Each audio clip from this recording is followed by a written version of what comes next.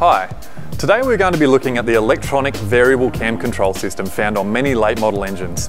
Variable cam control is used to control the inlet cam, exhaust cam or both. In this example, we'll be looking at the inlet camshaft only.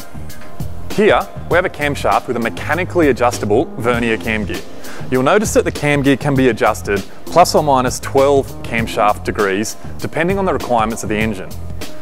If the inlet camshaft is advanced, the engine will make more power down low in the rev range, but will lose power higher in the rev range.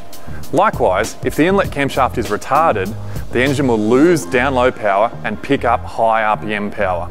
Knowing this, we know that vernier cam gears are used to adjust the power band of the engine. The downside of the vernier cam gear is that the tuner needs to set the camshaft in a position that gives the best power for the application, sacrificing some of the low down power and sacrificing some of the top end power. Late model engines with electronically variable cam control have the best of both worlds, allowing the tuner to tune the engine on a 3D table, allowing around 30 degrees of cam movement depending on RPM and engine load.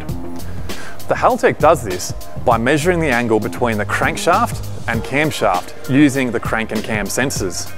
It then outputs a signal to an electronically controlled oil solenoid, which can be seen here.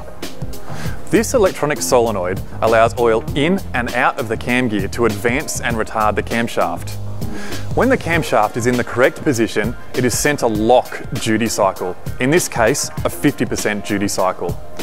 When the camshaft is to be advanced, the duty cycle is increased to around 60% until the cam is in the desired position, then the lock duty of 50% is applied to hold it in its new position. Likewise, if the camshaft needs to be retarded, a duty cycle of around 40% is applied until the cam is in the right position.